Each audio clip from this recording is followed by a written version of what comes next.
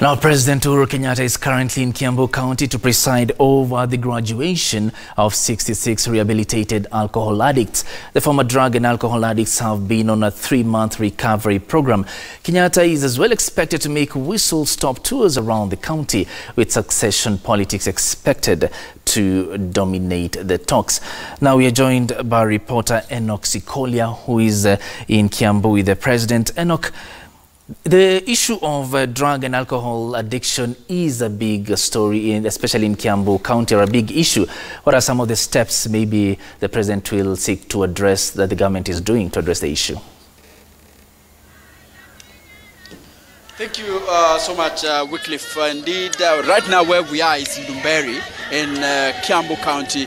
Uh, we've just moved from um, a place in Wangige, uh, same county of Kiambu, where the president has, um, for example, has uh, uh, seen uh, some of the youth who has been re re rehabilitated, former drug addicts and alcoholic guys or people who have been um, been undergoing rehabilitation at uh, uh, Mama Care uh, Rehabilitation Center here in Kiambu County. And now uh, President Uhuru Kenyatta has come here. Some of the issues that came out is that uh, uh, alcoholism and drug abuse here in Kiambu County has been on the rise, but there have been developments, and especially after the, the, enforcement of the national government and the county government together with the woman representative of Kiambu County that has been uh, working hard to ensure that uh, they cut down on the consumption of alcohol here, um, and especially when it comes to uh, illegal bars and illegal brews here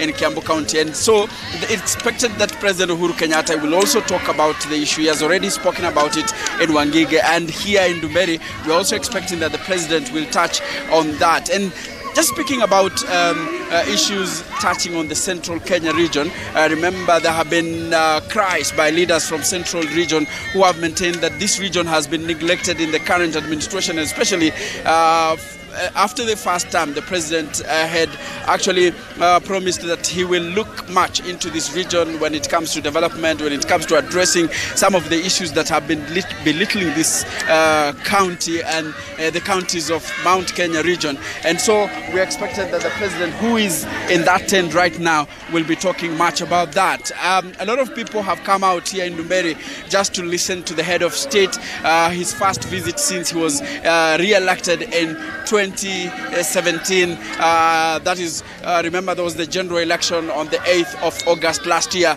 And then there was also um, the the, the, repeat presidential election. So many people have come here just to listen to the head of state, President Uhuru Kenyatta. What will he say? And we're also expecting that there will be lots of politics here. Uh, remember, there have been politics about, uh, especially the governor, when it comes to the gubernatorial seat, uh, where the current governor uh, has been battling with his deputy over issues. Uh, so we're expecting that a lot of politics will also come up uh, when the president goes to the podium, and even members of parliament who have come here in droves.